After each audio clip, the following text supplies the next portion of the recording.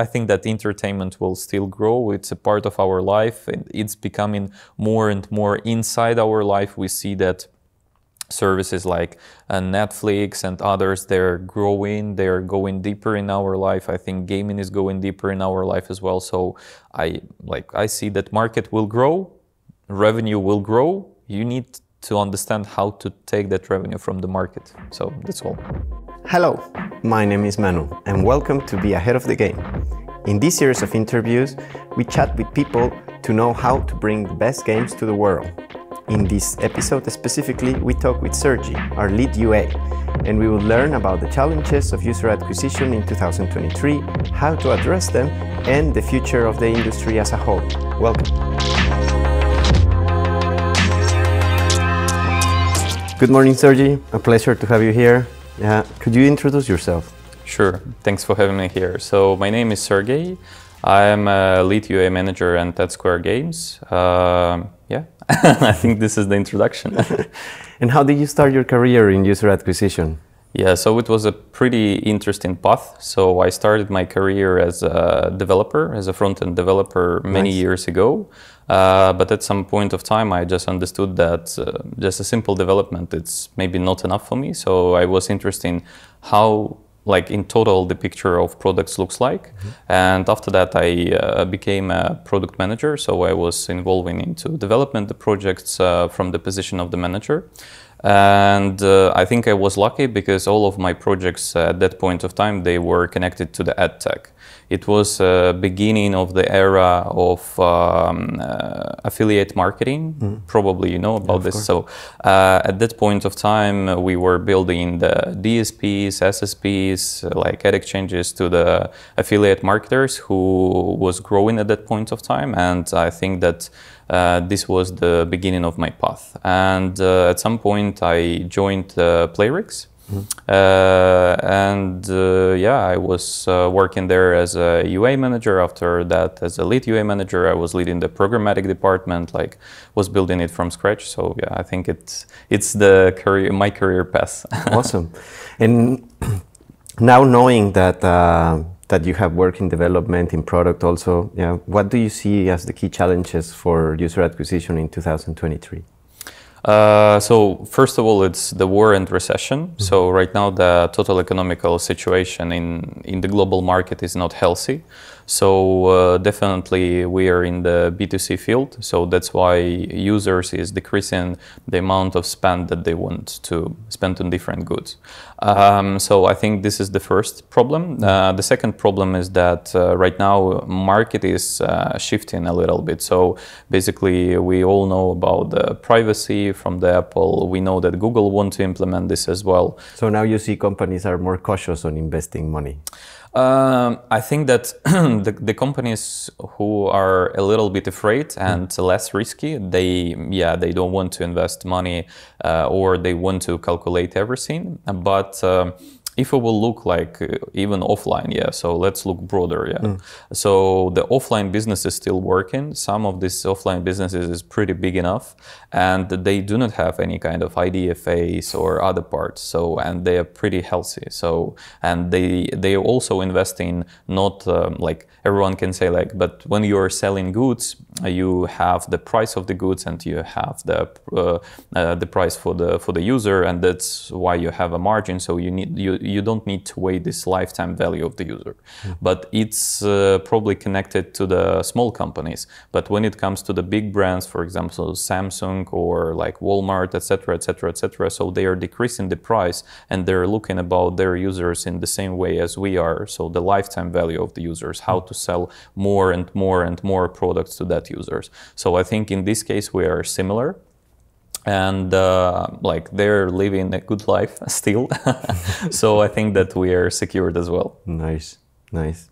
So in, in contrast to those challenges what do you see right now the drivers on user acquisition or how well or better said how, what drives your teams right now yeah to actually optimize the user acquisition funnel yeah, so first of all, I think it's the data. So, mm-hmm. how we're looking at the data, how we are analyzing the data, because right now everyone has the access to the data. But the main problem, and from my experience, this is the main problem for all companies across the market, is that how you will look on the data and what decisions you will make from this data. This is the the big problem. So i think uh, this is the first point where we are good at and mm. we are trying to invest more and more uh, efforts into this. And probably sometimes we're even inventing new uh, roles inside the company which will be connected specifically to the analyzing the marketing data and like parts of the marketing data uh, the second part, I think it's uh, creativity. So as I said, from the offline business, we see that uh, creativity is uh, working pretty well. Mm.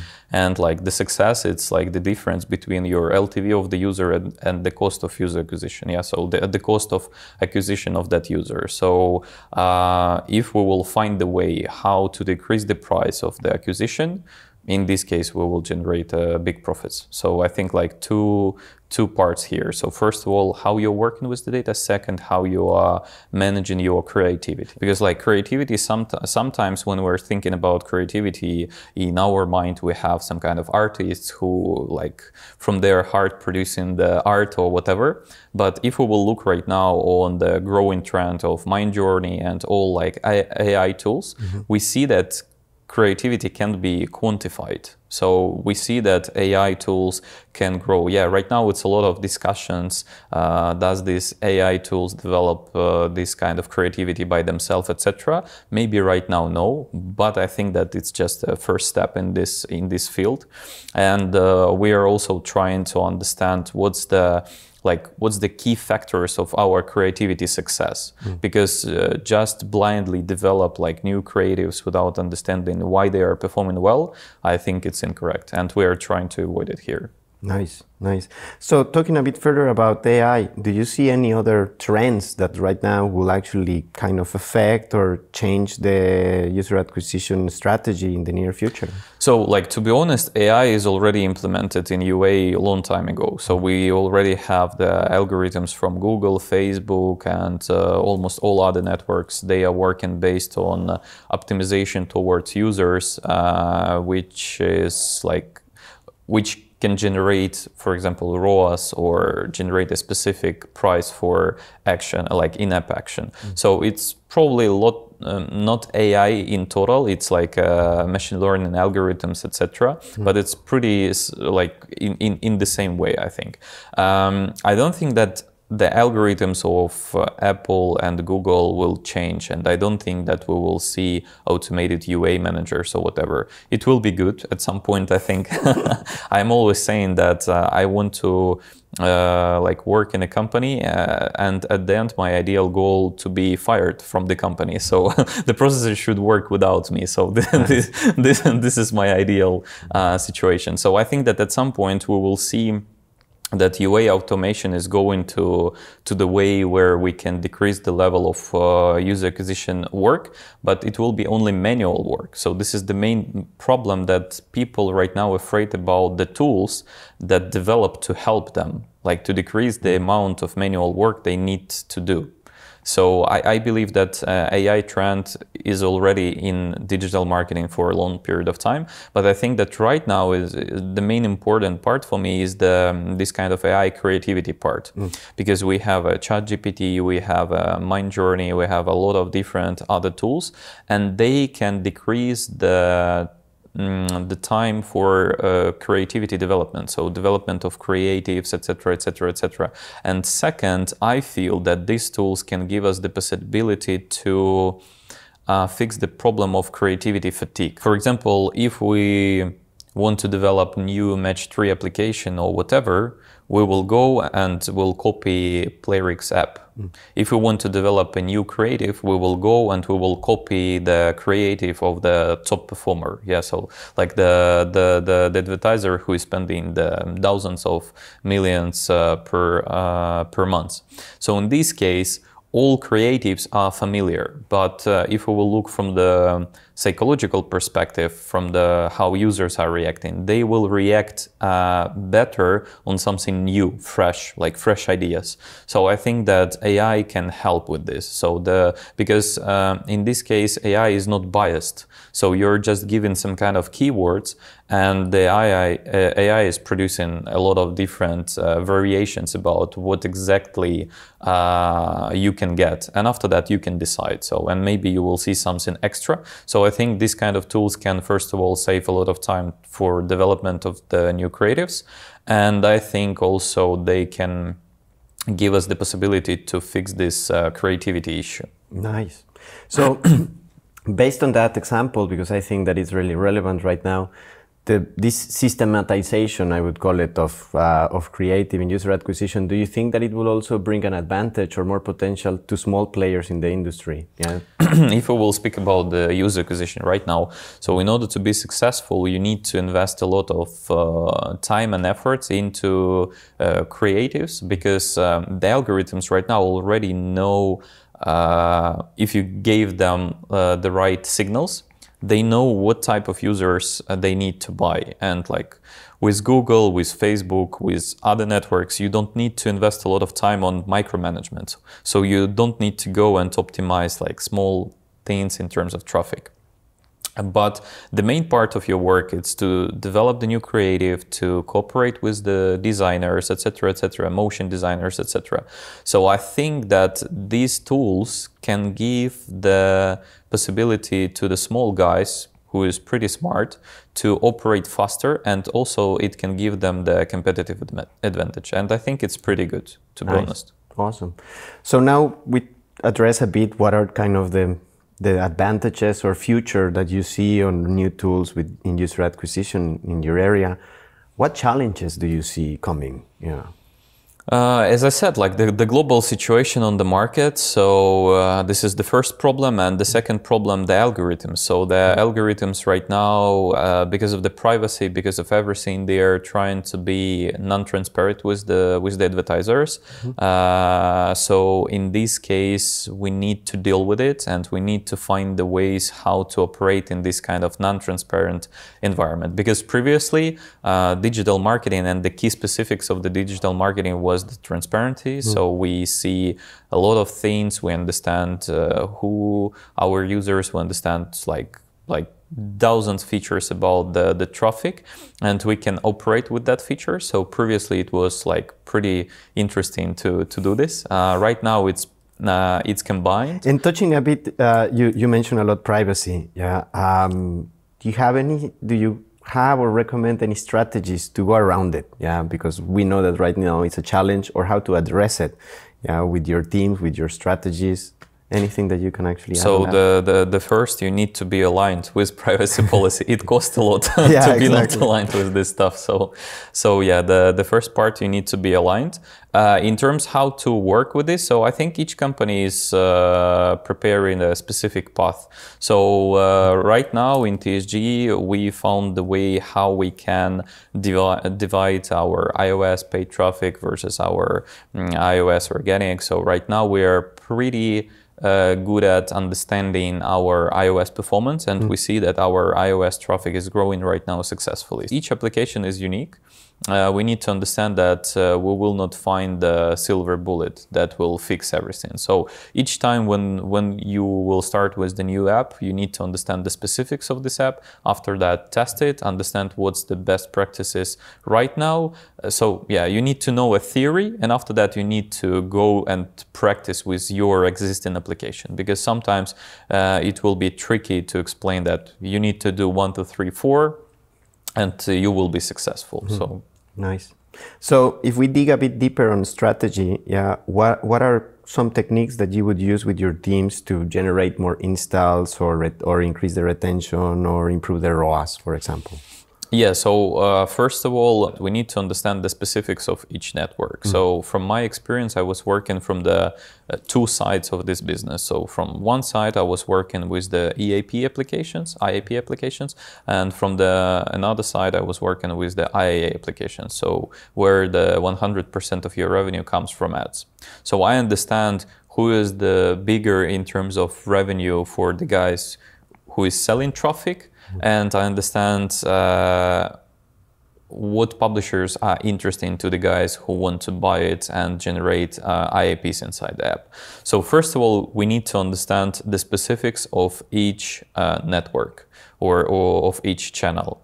In this case, we will uh, understand what exact techni- like what exact UA techniques you need to operate. Because right now, for example, if we will speak about AppLovin, they have uh, different optimization models. So you can optimize towards ROAS, you can optimize towards ROAS day three, day seven, day zero, uh, cost per purchase, cost per event, different days. So they have a variety, the complex of optimization models that can give you traffic and that models are different because uh, inside the models uh, you can't find like uh, maybe from the mathematical and statistical standpoint they are the same but the execute of the algorithm is different so you need to understand the specifics of these uh, channels and you need to take uh, only working tools for your uh, product. Nice. So you you think or you see strategies being tailor fitted to each product. Yeah, sure, because we need to understand that we are dealing with the businesses. It's like, uh, I don't know, let's imagine you are going to the um, salsa club and you say, like, okay, I want to I don't know, learn uh, tango. So they will say like, okay, maybe we can do that, but we don't know what will be the uh, uh the the the, the um, outcome. Outcome, yeah. Thanks. So what will be the outcome of this? So the same way with with uh, with algorithms. So they have access to the traffic. They have traffic. They have some um, they have some models, etc. But you need to understand what will fit for your product, and you need to use it. If you will use everything, uh, probably it will be not successful, and you will spend a lot of money uh, into this. Nice. So we have seen in the past uh, year or so, yeah, that there's there has been an increase on the price of users. Yeah.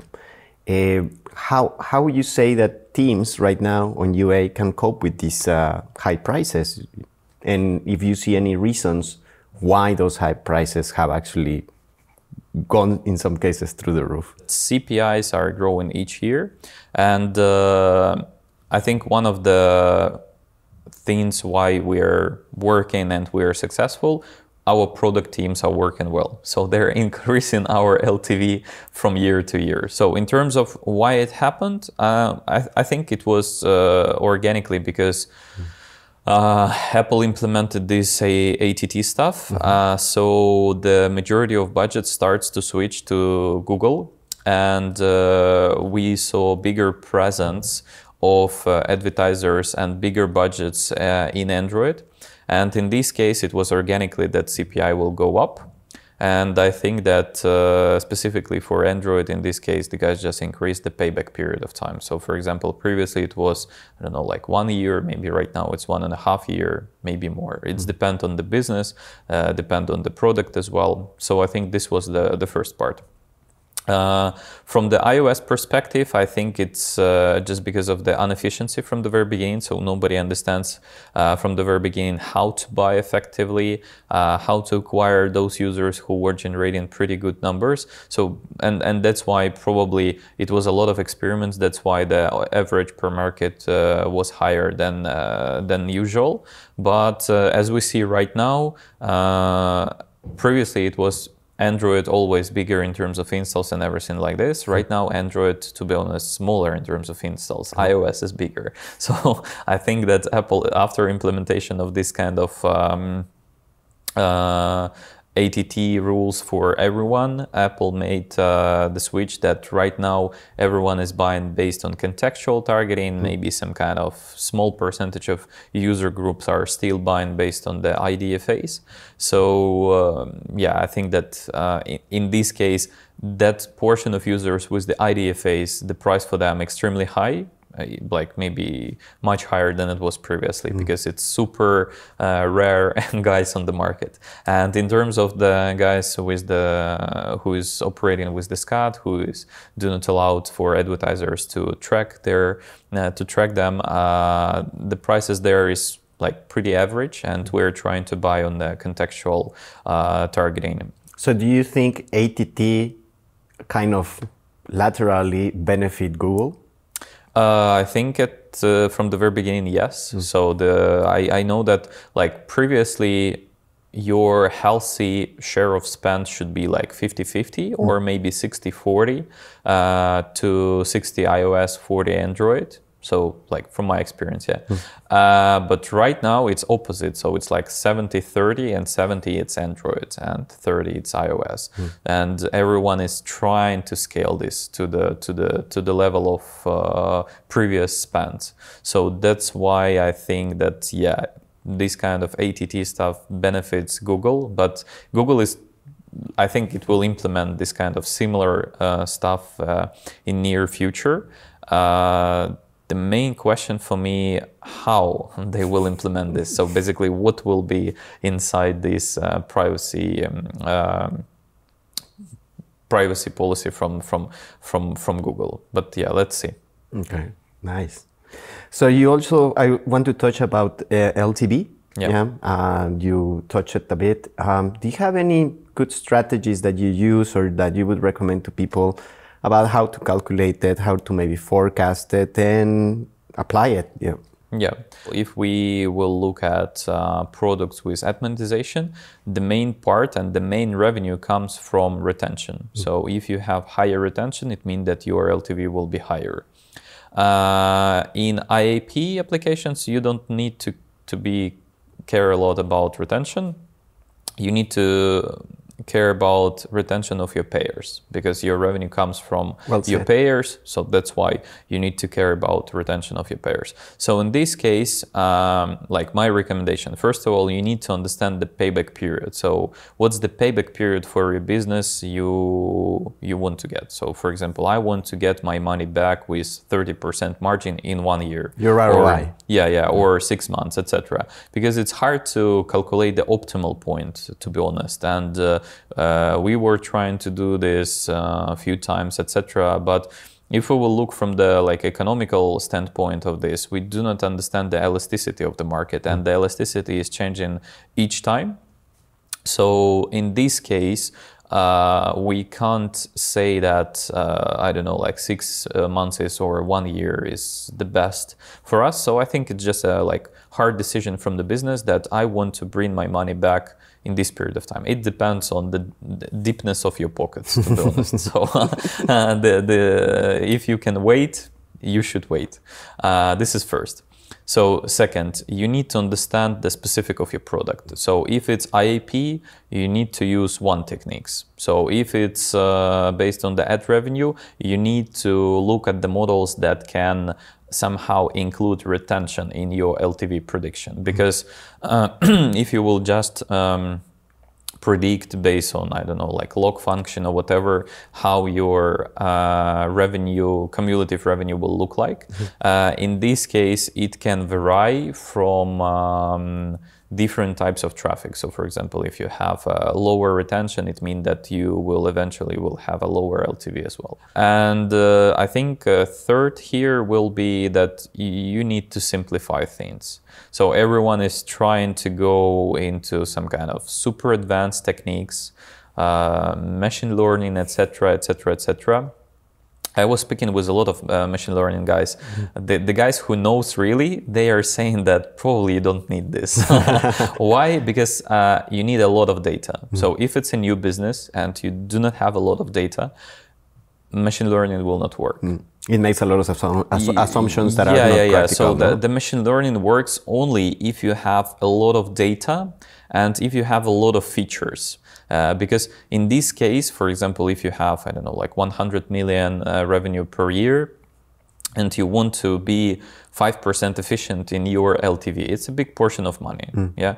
So uh, when you are a business with 1 million revenue per year, yeah, it's still pretty big, but in this industry, no.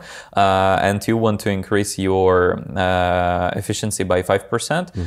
For, I, I, don't think that you will you will succeed mm. to be honest. So uh, from from the very beginning, use simple techniques as simple as possible and uh, try to grow. Uh, when you will already big enough, only after that you need to invest into this kind of uh, more advanced techniques. How do you choose your marketing mix?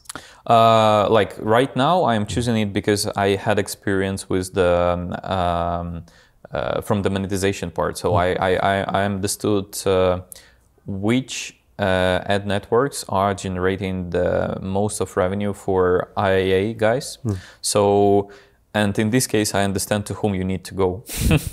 so I understand that uh, one, two, three, four, five networks they are generating the most of revenue for that guys. It means that they have the most of demand and supply.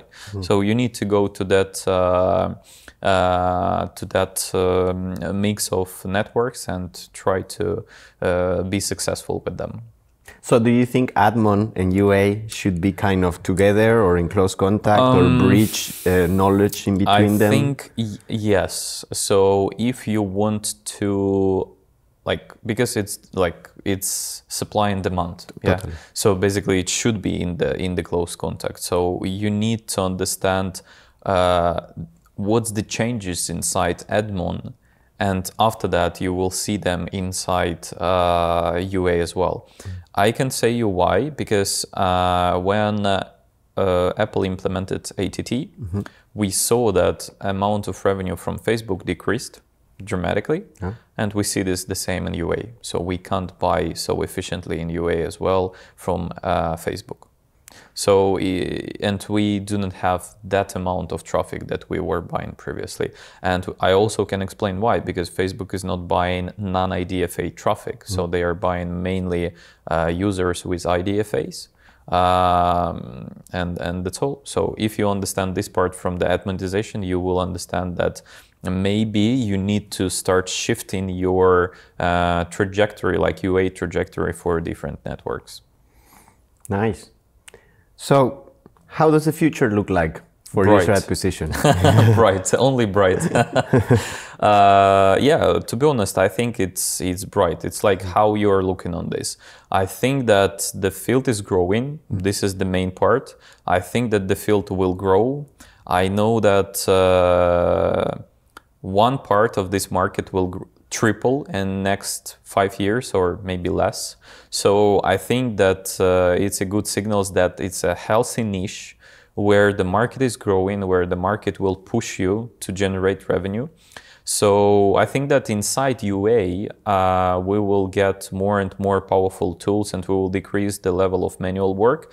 I think that the main shift will be is that the UA managers will need to increase their skills. So they will they will need to start be more data driven because right now everyone is saying that they're data driven, but they do not have a lot of like hard skills to to prove it's that. It's a trendy word to have. Yeah, it's like a trendy word. I am like a data driven, but sometimes you can uh, speak with the UA managers and can and they can explain like I see this one day where everything was fine, and after another day when everything is bad. And for me, it sounds pretty strange. Uh, so I think that first of all, UA managers will need to adapt to changes, mm. and uh, they will need to increase the level of their math skills, statistical skills, uh, working with the data, understanding the data. Because right now, uh, when you will get these powerful tools, you will decrease the manual work, so you will have much more time to do. And in this case, I think uh, UA managers who knows how to do some kind of ad hoc analysis and stuff, who can find the growing points will win. Uh, if you will be on the same, um, how to say, on the same uh, side uh, where you were where you will try to do your manual work by yourself and you will not use the uh, the new tools that will appear i think you will lose this uh, because it's like right now it's clearly that the market is going into this direction mm. and we can even see this because for example ChatGPT probably the cost of daily expenses is around 3 million or more or more so basically on a monthly basis they are generating minus 100 million mm. or more mm. and this number will grow but the valuation of the company 30 billion right now and will grow. So it means that the market sees great potential with these kind of tools, and I think it's not only this tool. So uh, tools will uh, will will grow and uh, we will see new and new tools. And from my side, it will be a little bit silly to say that no, it's something strange and we don't need to use this. We will do the same way how we were doing this previously. We already experimenting with the tools inside the TSG and uh, we see uh, early signals that it's a great potential to be honest. So i think like you need to adapt to this. So from my perspective i understand that i will need to adapt. I am ready for this and i'm pretty happy about this. So i i see future only bright. Um, maybe other guys are a little bit skeptical about this and uh, they see more challenges yeah, it's also one point of view, but I think it's your behavior, how you think about this. If you think that it's a, because I think that even with the problems that we have in the current world right now, I see that right now it's a really, really good time for companies to start and to grow, to be more uh, like more risky, etc. Because, for example, the COVID situation, everyone was thought that it's the end of the world. Yeah, so everyone was super afraid, and uh, we also thought that like it's it's it's a problem for gaming. But if we will look back to the period of time and uh, what we've done in TSG at that period of time, I think we were risky and we scaled dramatically and we benefit a lot from this. And the same for other companies as well. So I think the same period of time right now and the same like probably in future. So only uh, when we will see that people don't want to play games and I don't believe that we will that see will this. happen. so only at that point of time we need to be afraid. but yeah, I, I, I think that entertainment will still grow. It's a part of our life. and It's becoming more and more inside our life. We see that services like uh, Netflix and others they're growing they're going deeper in our life. I think gaming is going deeper in our life as well. So I like I see that market will grow revenue will grow. You need to understand how to take that revenue from the market. So that's all. So also talking about the future, yeah, uh, to conclude kind of your predictions, through the years we have seen that there has been a couple of big acquisitions and consolidations of big players, especially in the area of UA.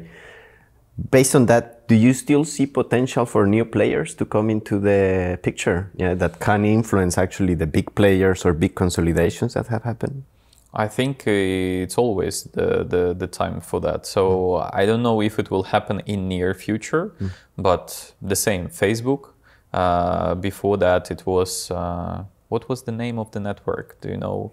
Uh, My World or something Maybe, like something like some- that, some- yeah. some- something like that. So MySpace, MySpace, MySpace, yeah. So it was MySpace, and everyone was thinking that okay, that's all. So you can't go into social networks because we have a MySpace. But after that, we found that Facebook can grow and uh, it became a leader in this niche. Right now, everyone is think, thinking that Google, you are going to the Google search, the Google is a giant. Everyone thought that like everything is secured, yeah?